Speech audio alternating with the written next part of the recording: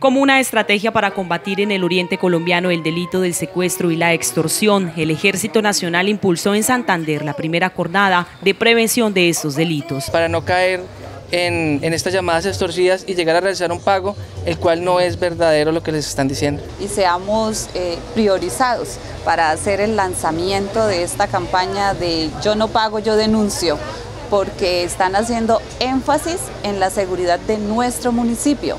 Nos están enseñando a que hay que denunciar efectivamente como, como la campaña lo indica. Asistentes a la jornada destacaron la iniciativa como un hecho que garantiza la tranquilidad y la seguridad en el departamento. Llevamos seis vallas y el anhelo es seguir con estas vallas donde estamos eh, agradecidos de verdad eh, con la institución y esto es un apoyo mutuo que nos estamos dando. Recomendaciones sobre cómo prevenir el delito, informar sobre las líneas de atención en caso de que alguien sea víctima de extorsión o secuestro y el procedimiento a seguir para atender un caso de estos fueron los temas socializados con la comunidad. Eh, porque hemos visto eh, la necesidad de apoyar a Río Negro a sus comunidades, a estar presente, a, apoyarlos en todo sentido y nos parece Río Negro un buen punto de partida para ayudar a Santander y es un buen inicio para desplegarnos a nivel Santander, en, a nivel Gaulas.